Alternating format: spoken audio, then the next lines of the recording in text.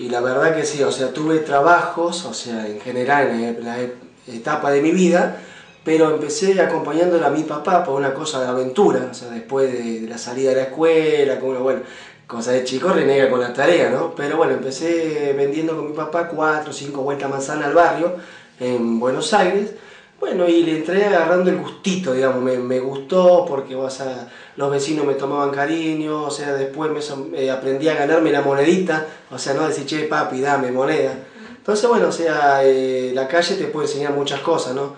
O sea, cosas buenas como cosas malas. Lamentablemente quizás uno va a 40, 45 kilómetros ¿no? a Santa Fe y ve muchachitos que quizás dejan la escuela, limpian los vidrios, ¿no? Hasta quizás, bueno, encuentra una persona que realmente eh, va y pide su trabajo, ¿no? No, no, anda limoneando, o sea que tampoco, bueno, me parece mal que uno vaya a pedir, ¿no? Pero no se justifica el hecho, ¿no? Habiendo trabajo y educación gratis, ¿no? Bueno, lamentablemente, pero bueno, vamos a captar lo, positivo, ¿no? De, la calle. O sea, la calle te puede enseñar muchas cosas, eh, a valorar lo que uno tiene. O sea, hay muchos que quizás van tras la avaricia, el dinero, o, se dejan engañar quizás por crédito necesario. ¿no? Entonces, bueno, uno ve, ve esos pequeños detalles y uno lo va aunando, juntando, te sirve para la vida. O sea que esto que estás haciendo, que es eh, el diario transitar la calle de nuestra localidad, es como un aprendizaje para vos. La verdad que es un gran aprendizaje, o sea, porque llegué a conocer muchas personas, eh, me han llegado a conocer a mí, o sea, quizás anteriormente no, no tenía quizás una buena referencia, o sea, cosa de, adolescente cuando, estaba, cuando era adolescente, bueno, me había mandado mi, mi misma cana, ¿no? Pero bueno, o sea, nunca es tarde como para progresar y superarse. ¿no? Ahora te has tomado en serio este trabajo. ¿Y cómo es un día de alguien que, bueno, tiene que ayudar en el microemprendimiento familiar y salir y, como quien dice, patear la calle para poder vender? Y mira, esto en la familia se compone simbólicamente como una máquina. Puede ser desde un engranaje grande hasta uno chiquitito. Todos cumplen su función. Si se trabaja en conjunto, esta máquina puede funcionar perfectamente. Entonces, bueno, la clave de esto es ser organizado. Gracias a Dios, o sea, no tengo ningún patrón, por decirlo así, un tercero, sino que tengo, bueno, el gran privilegio y la alegría de contar con mi familia. Entonces vemos que mi papá, por ejemplo, hace todas las cosas saladas. Eh, lo que hay que destacar de los productos que no se, no se usa ni conservante ni antimo, o sea, son todas cosas artesanales. O sea, eso de destacar. Y ahora, bueno, eh, un día, a ver, en la venta. Se levantan a la mañana, o sea, se organiza un poco lo que es la cuadra, la panadería que se le dice, ¿eh? para que la gente alguna conozca, una cuadra se le dice. Y bueno, se empieza a hacer la, limpieza. Esa es una de las claves también en un negocio donde nosotros tenemos a puertas abiertas, o sea, a vidriado, se puede ver a la vista, así que la gente que quiera ir a visitarlo, estamos en Saavedra 825, entre Lorenzo Novera y 9 de Julio, acá de San Carlos Centro. Eh, ahora bueno, aprovechamos el medio, ¿no? la oportunidad que me está dando a vos, porque realmente me gustaría insertarme en el mercado sancarlino, ¿no? empezar a trabajar con los comercios sancarlinos y quizá bueno, que se me dé la oportunidad de apartar un pedacito de la góndola ¿no? y hacerlo en consignación o contra boleta, o sea, eso después se manejaría con el comerciante. ¿no? Pero me parece perfecto que también, o sea, muchas panaderías aquí en San Carlos que hacen mucho rico, muy rico, cosa de panadería, bueno, también, o sea, que se me pedir una manito, o sea... Agrandarse un poco. Agrandarse un poquito, o sea, está la avaricia, la negativa y la positiva, bueno. Esto sería un poco crecer. Eh, o sea, no nos vendría mal un poquito de crecimiento, pero para bien. Pero no dejar lo que es la calle, ¿no? Porque bueno, supongo que en este eh, contacto diario con los clientes tenés muchas anécdotas, buenas y malas, eh, pero es una actividad que tiene sus beneficios y de, lo, de la que uno puede rescatar un montón de cosas positivas.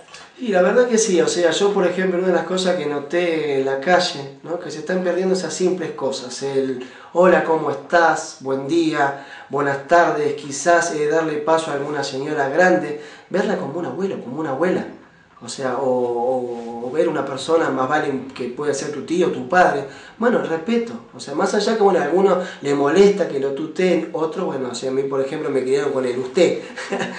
Pero bueno, o sea, te dicen que sos chapado a la antigua, pero esos pequeños detalles quizás eh, suman. Bueno, podríamos decir que esto sucedió después del año 1998 aproximadamente. Eh, yo trabajaba en Gatit, que produce la, marca Adidas, varios años allí.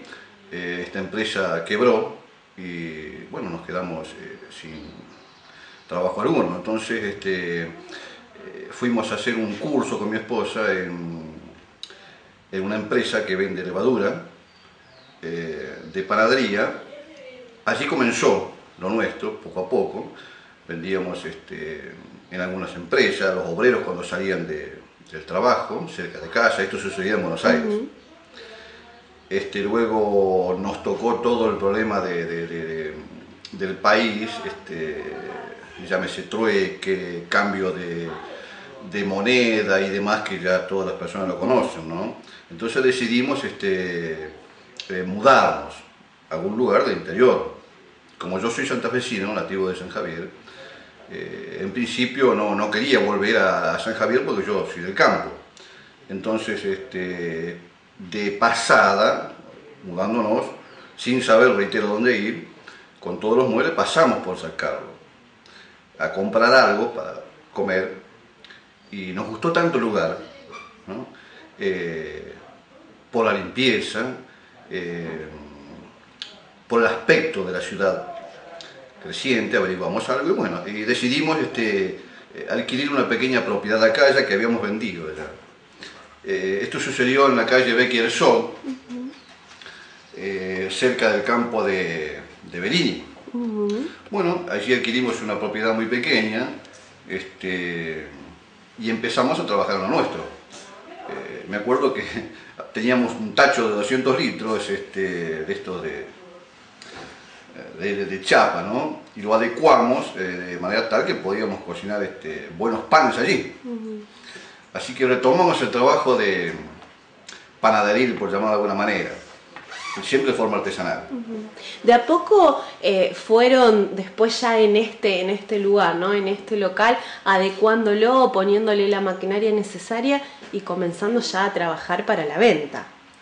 Claro. Eh, este es mi pequeño hijo, el más pequeño, Luquitas, que también colaboran. Acá es un emprendimiento familiar, así que todos colaboramos.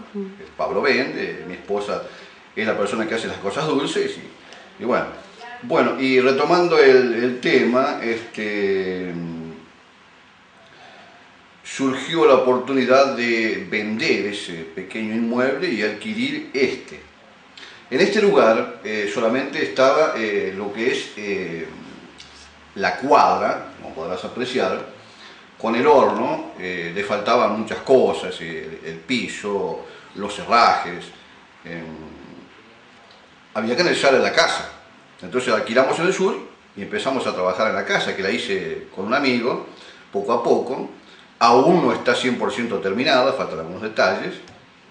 Y, bueno, después, este, no hace mucho tiempo, este, cuando salieron las ayudas para microemprendedores, allí nos tocó también a nosotros, el, municipio este, nos ayudó eh, pudimos este, de esta manera eh, conseguir estas máquinas que podrás apreciar acá, si bien son pequeñas, estamos eh, trabajando de forma automática, ya que antes lo hacíamos este, manualmente. Seguimos trabajando, salimos a trabajar a,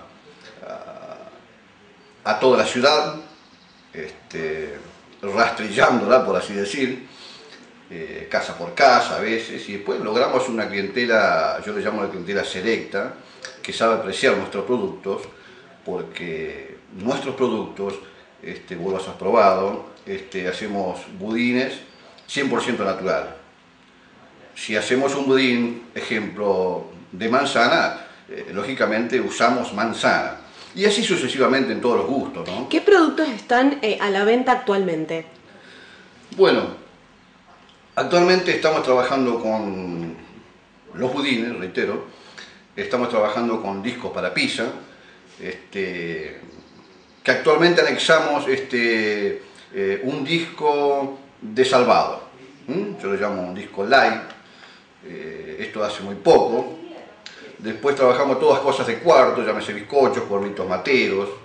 Este, y bueno, y últimamente eh, analizamos pastas frescas.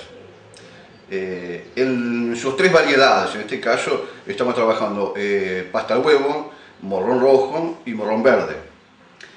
Y siempre hacemos lo mismo, usamos la verdura o la fruta. No usamos ningún tipo de colorante, ningún tipo de saborizante, ningún tipo de conservante inclusive. O sea que un budín eh, lo podés guardar sin ningún inconveniente eh, hasta una semana, una garantía, ¿verdad? Hasta se pone más sabroso. Ya más tiempo eh, habría que usar algún tipo de antimog o algo así, ¿no? en este caso nosotros no usamos nada. Este conocimiento que ustedes fueron adquiriendo, bueno, primero en Buenos Aires, después a lo largo del tiempo, les sirvió muchísimo para poder optimizar lo que es este emprendimiento. ¿Cómo lo ven a futuro ustedes como familia?